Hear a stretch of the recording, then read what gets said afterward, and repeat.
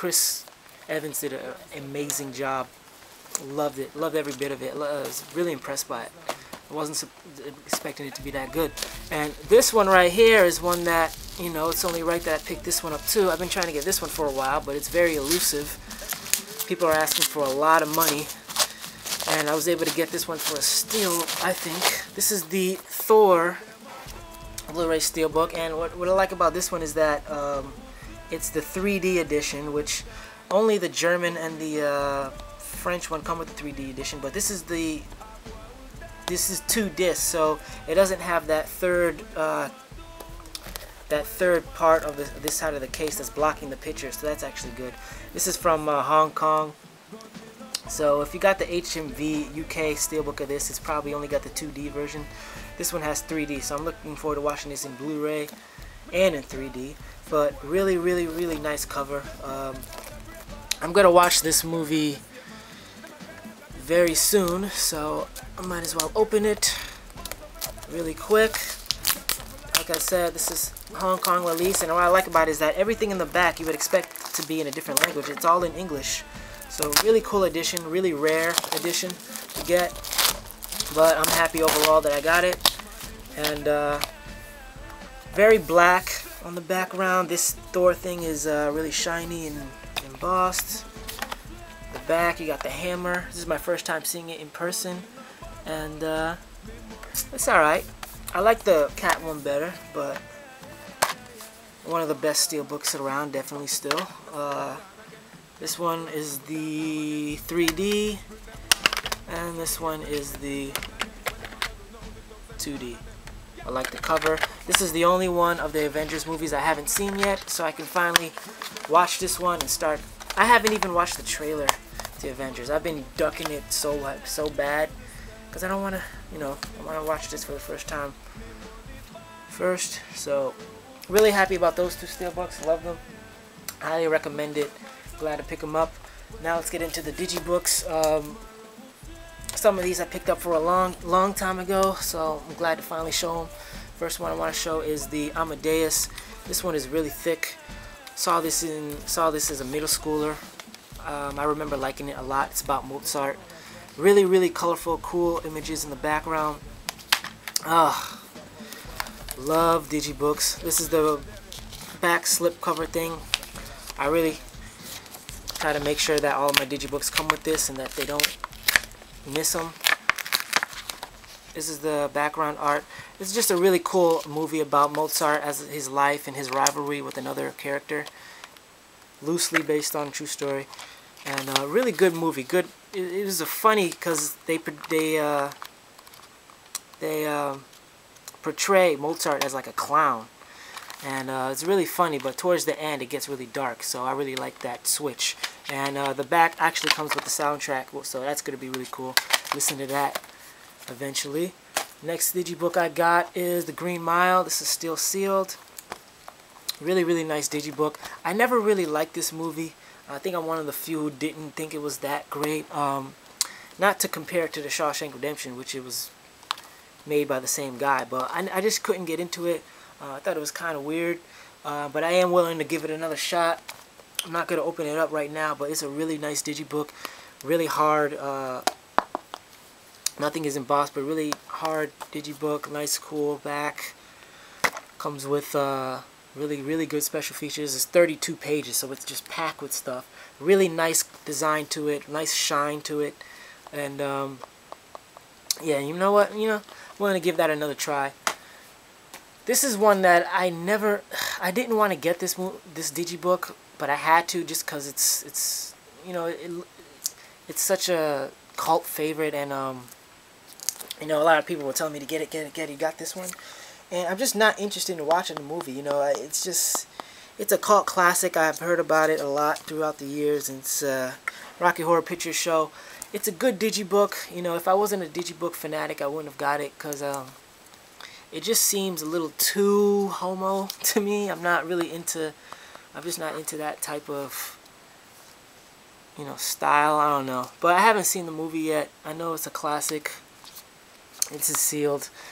So I picked it up. This is from um, Fox. I like the Fox Digibooks because the way they're packaged is really cool, but I'm not going to open this, but look at all those features. I mean, if anything, it's a cool to look at. It's just a nice digibook, so very happy to get that one. It's pretty slim. That's Rocky Horror Picture Show. I know a lot of people love it, but I don't know. I'm just not not too enthusiastic to watch that one though. But I'll check it out. The next one I got is Color Purple. This is probably one. This is the new one of the newer ones I got. Um, really sticks out with the other ones because it's very colorful, really nice image. Wasn't really interested in seeing this movie either. I'm not really into racial or you know um, civil civil type movies like this but you know I was willing to give it a chance Color Purple came out in the 80s based off the book Steven uh, Spielberg movie and uh, it looks interesting you know it's about four women four black women living in the city trying to get by talking about what they go through. Really cool pictures. The, the pages feel really weird. I can't really describe them but they don't feel like natural uh, the usual paper. That's a good montage of scenes. Every picture, every page has that purple vibe to it, which is cool. Danny Glover, I like Danny Glover. Whoopi Goldberg, Oprah, you know, should be interesting. I don't know, it might surprise me. I'm not really into these kind of movies, but uh, I'll give it a try. Here's what the back looks like. Really, really colorful pictures. Really nice looking digibook. Like I said, it uh, it sticks out pretty good. So that's the color, color purple. I don't know what the color purple means in the movie, but I'll find out. Dr. Zhivago. Dr. Zhivago. This is the movie based off the Russian Civil War. Never heard about this movie until I saw it as one of the digibooks that came out. And the more I read about it, the more I learn about it, the more interesting it seems. Um, a lot of people compare it to Gone with the Wind, um, which I love Gone with the Wind, but this is another epic movie. Uh, really, really famous in Europe, really famous for the old time movies movie fans know about this movie very thick super heavy I don't know um, I don't know there's like this this hump on the back I don't want to I don't want to um, open it right now but uh, yeah there's definitely a hump on there I don't know if that's a the soundtrack or what but really interested in seeing this movie it's usually not my type of movie but it's got such a, a an interesting plot um, this character, Dr. Zhivago, is a very complex character. Deals with the civil war of uh, Russia. Just, it sounds like a cool story. The trailer looks really cool, so I'm looking forward to watching that. If anyone wants to see what it looks like and what this disc is, I'm really curious to see what this thing is. It looks like a another disc right here. But anyone wants to know what the back looks like and what it looks like in the inside, let me know. I'll make a video on that. Next up, let's keep this going. Usual Suspects. Uh, another movie which I never really got into, but a lot of people like it. I like the design on this. I'm willing to give this another try. Really, really super slim uh, Digibook. Probably one of my slimmest. But um, still sealed. Really good twist in this movie. But um, I don't know. I just didn't like it the first time I saw it. But I'll give it another try. Really cool digibook though. This is one that I wanted for a long time. The Hustler, a really cool looking movie. I'm really looking forward to watching this. Jackie Gleason as a pool shark trying to hustle this kid Paul Newman who's an up and comer. It just looks like they go back and forth. This sounds like a really really cool movie. I haven't opened this one yet too. This is probably the one I want to see the most. It just looks like one of those cool vibe movies, man. Um, epic epic looking cover right here. Everything's black and white except his eyes. Yeah, there's some hustling going on in this one. A lot of special features. The trailer just looks so gangster. It looks so cool. I'm looking forward to watching that one a lot. Um, really slim as well. That's the Hustler. Next, I showed these two in my recent video. These are from Germany. This is AI and um, Independence Day. Um, like I said, this is the lenticular cover, so it shows the uh, White House getting blown up if you tilt it. Really cool if you guys want to see those in depth check out the video I just made a few videos ago. I go into them further. Some of my favorite ones though love those digibooks love German digibooks they know how to make good digibooks these next two are not traditional digibooks but they're um, you know they're uh, they're special. The first one is from Studio Canal. I've been trying to collect some Studio Canals for a while but I've had to focus on other things. But this first one I got is Ran from Akira Kurosawa. I've been trying to get into Akira Kurosawa movies for a while. I've seen Seven Samurai and Rashomon, and I love them. This is a movie based on um, the Spielberg movie Ran. Really cool. These Studio Canal digibooks are really unique in that Um, I'm not going to open this. Um, I'm going to wait till I get a few more. I got another one coming. I'm not going to tell you which one. But they're unique in that inside is not really pages. They're more like it's it's it's more of a book on the outside on the inside it comes with a little booklet that you open and you read. So I thought those are really cool. There's a they they have a they're pretty much made in France. I got this one from the Australia because uh, you know um, I couldn't find the UK one and the Australian is the only other one that comes with the English writing.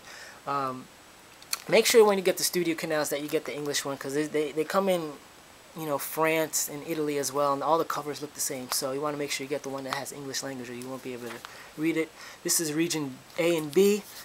Really, really like this cover. I'm looking forward to watching that. I really want to get the studio canal of Mulholland Drive and Elephant Man. Those are the ones I'm dogging for right now.